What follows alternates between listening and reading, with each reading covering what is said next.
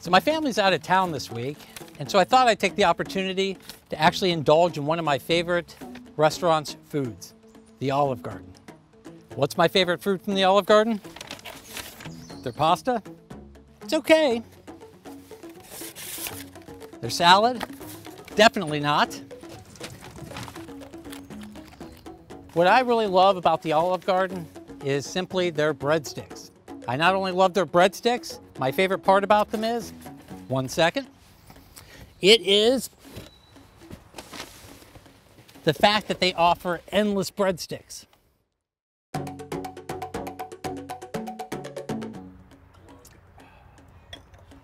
Several years ago, one of Olive Garden's most significant stakeholders, Starboard, visited several Olive Garden restaurants, and they couldn't help but notice that most patrons were leaving behind full baskets of uneaten breadsticks.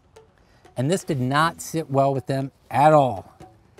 And they made sure to let Olive Garden's management know all about it as part of a 294 page shareholder proposal. What was Starboard's main message? Stop giving away so many breadsticks for free. Because nobody collectively has more than 50% of the votes at Olive Garden, nobody has outright control either. So Olive Garden's board of directors had no choice but to listen to and even consider the breadstick concerns of its investors. The board eventually conceded to Starboard's demands, which represented a watershed moment in breadstick history. At the time of its IPO in 2004, the founders of Google, Sergey Brin and Larry Page, collectively owned only an 18% of the economic stake in Google, but were entitled to more than 57% of the votes. This meant they effectively had full control of the strategic decisions.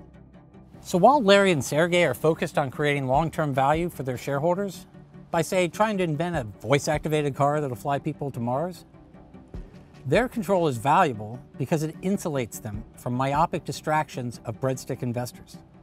Whereas in the case of Olive Garden's management, they're probably busy thinking, now we have to take time out of our busy day developing the next pasta innovation, inventing, I don't know, the 10th sauce to pair with the 18th type of new noodle. And now we have to take time to deal with this breadstick mess when everybody knows that the breadsticks are the only reason people come in to even eat our mediocre spaghetti. It's all about control.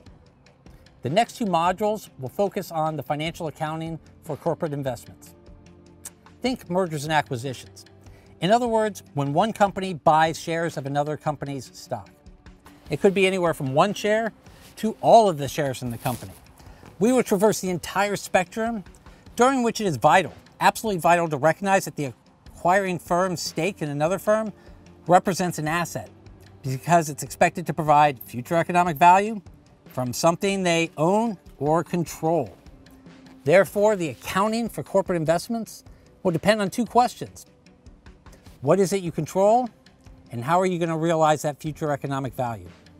Future economic value is relatively straightforward, so it really boils down to the degree of control as the key determinant of the accounting method a firm is going to apply to its investments. At one end of the spectrum, owning one share alone, in which case you don't really control about the day-to-day operations of the company. The only thing you really control is the ability to buy and sell at market prices. So the accounting for such passive investments will be based more on market prices, which is commonly known as fair value accounting. At the other end of the spectrum, owning 100% of the shares that investment is going to be no different than operating your own company.